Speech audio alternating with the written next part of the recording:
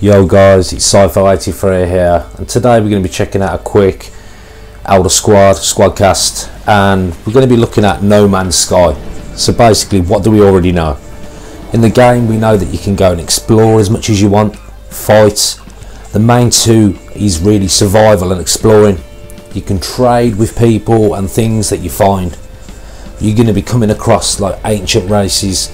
You're going to be like interact with aliens. You're going to have to learn alien words and all the words of the different things you come across in No Man's Sky.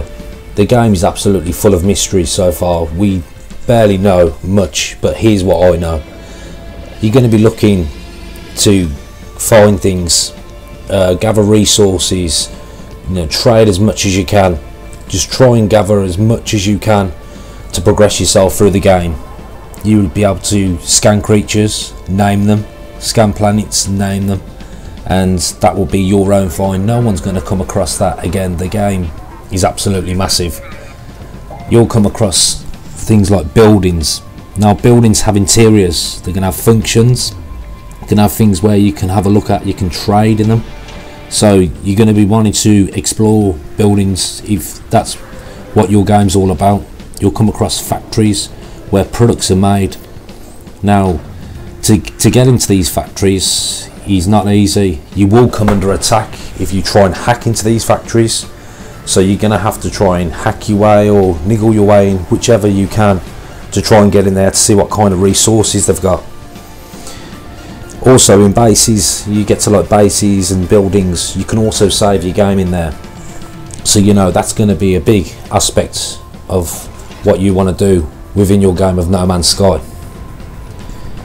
Now when you come across stars, now each of these stars, they're that massive, it's, it has its own solar system and it's got its own set of planets. So you're going to be looking to explore as much of that. We all know so far that you're going to start on the edge. So starting on the edge really is just the tip of the game to where you want to take it or where how long you want to stay on the planet.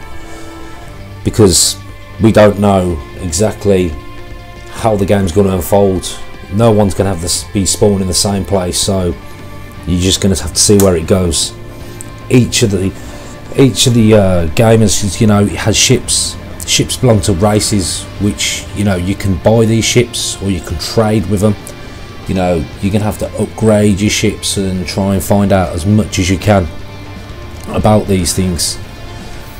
Now from what I can gather certain resources will be only on certain planets from what I've found out which means no real two planets three planets etc are going to have the same resources on them planets.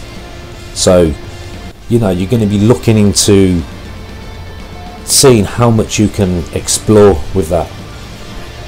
Now you're going to be able to create caves or you're going to come across caves. You're going to find quite a few of them and a lot of them now these these are going to go on for kilometers you know these networks go on for kilometers again. You're going to want to look inside and explore for them and just see what kind of resources you can gather. Now we know that you can trade with aliens you're going to trade with a lot of things you come across. But uh, this is how much I know so far about No Man's Sky and I'm keeping you updated as much as I can through every Elder Squadcast. But uh, be sure to hit that subscribe button for more videos and see what I can find out next for you guys. And um, I'll be much appreciated if you tune in for the next video and uh, see what else I can show to you. Uh, thanks for watching guys and take care